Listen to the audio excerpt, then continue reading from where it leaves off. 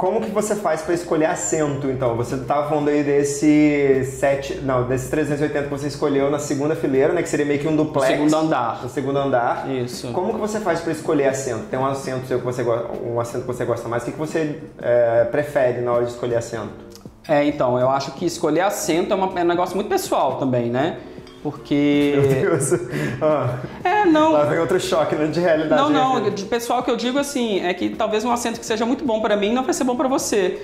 Por exemplo, Entendi. num voo longo, é, eu prefiro ficar sentar no corredor, apesar de eu adorar a janela, mas se é um voo muito longo, eu prefiro o corredor porque eu sou uma pessoa que quase não durmo em avião. Porque eu crio conteúdo, então eu fico com a sensação de que se eu dormir, vai acontecer alguma coisa que eu vou perder. Vai ter um- um- uma comidinha que eu não vou fotografar, que eu não vou filmar. Vai acontecer alguma coisa que eu vou perder, entendeu? Então eu durmo pouquíssimo.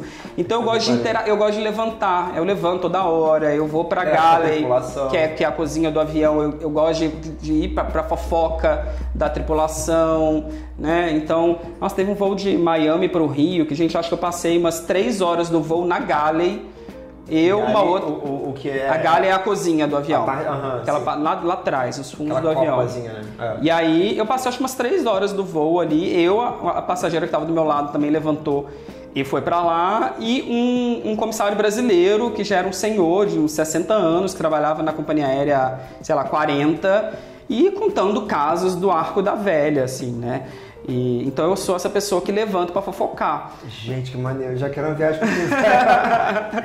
Então, por exemplo, no voo longo eu prefiro o corredor, né? Muitas pessoas vai preferir, vão preferir a janela, porque, né, você encosta a cabecinha ali e tal, é mais confortável, efetivamente. Mas, então, acho que é muito pessoal. Num voo curto eu prefiro janela, né? Não prefiro, não pego corredor porque não vou precisar ficar levantando. Mas, eu- uma dica boa, bom, eu gosto muito de assento de saída de emergência. Que são os assentos conforto, né? É um assento que você tem um espaço maior ali, né, entre uma poltrona e outra.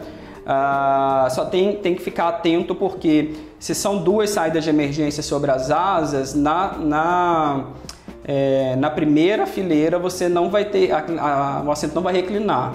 Entendi. Ele não pode reclinar porque senão ele atrapalha o fluxo de pessoas que vão passar pelo corredor de trás, caso seja necessário.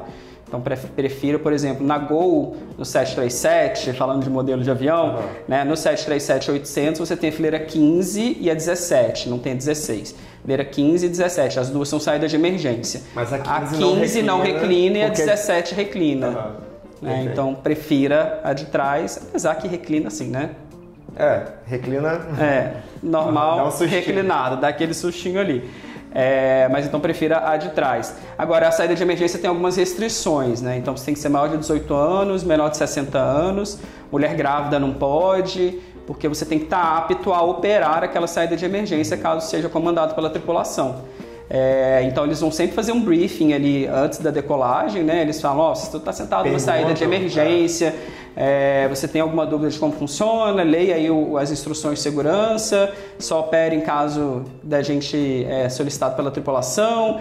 ah, e eles perguntam para você, você é, posso contar com a sua ajuda?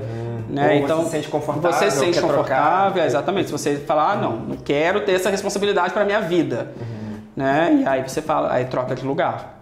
Exato. Então a mulher grávida não pode. Se for uma companhia aérea internacional, você tem que falar inglês ou o idioma é, nativo daquela companhia aérea, né? Sei lá, tô voando com a Air France. Então precisa falar inglês ou francês, porque você precisa estar apto a entender os comandos da tripulação. né? Nossa, eu não sabia disso também. É. Muito legal. Tem algum assento assim que seria mais confortável para pessoas, pessoas mais altas, pessoas mais obesas que precisam de um lugar mais de conforto assim na aeronave e essas também não seriam é, interessantes para ela? Executiva, né, meu bem? Ah, boa. e aí a gente já pode entrar nessa seara que também é muito interessante de falar de executivo de primeira classe. Executiva, né? Primeira classe é uma classe que está meio que morrendo, né? Na grande maioria das companhias aéreas, um produto muito caro Aham. e que hoje já não faz muito sentido mais. Então hoje elas estão investindo muito em classes executivas muito boas. É, tem a melhor classe executiva do mundo que é a da Qatar, que chama Q Suites. O Q de Qatar, né? Q Suites. É premiadíssima e é chama de suíte porque você tem uma, uma portazinha mesmo, você pode fechar ali, você fica na sua, na sua privacidade ali maravilhosa. e um serviço excepcional. É, não tem essa de da briga pelo corredor ou pela janela, porque nesse caso todos os assentos têm, todos os passageiros têm acesso ao corredor. Então mesmo aqueles que estão na janela é a configuração 1, 2, 1. né? sim, então sim. um, dois no meio e um na, na outra lateral. Então todo mundo tem acesso ao corredor. E se você senta na janela, você também tem a janela. Então é o, é o melhor dos mundos em termos de assento. Né? E claro, é um assento muito mais espaçoso, uma poltrona que vira cama. ah, e é maravilhoso. E amenities e comidas diferenciadas. um amenity kit, né? Aham. Que é aquela bolsinha necessaire que vem com vários itenzinhos ali que a gente adora. Inclusive tem coleção em casa. Maravilhoso. né? Tem uma coleçãozinha lá de vários amenity kits que eu já ganhei pela vida fora.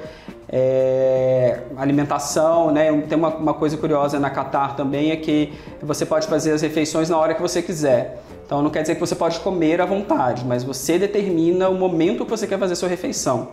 Então, se você quer embarcar, você vai pegar um voo de 15 horas, você quer embarcar e você quer dormir as primeiras 8 horas do voo, você chega, dorme e quando você acordar, você fala com a tripulação: "Ah, agora eu quero almoçar. E a tripulação vai fazer a sua, a sua refeição, vai esquentar a sua refeição.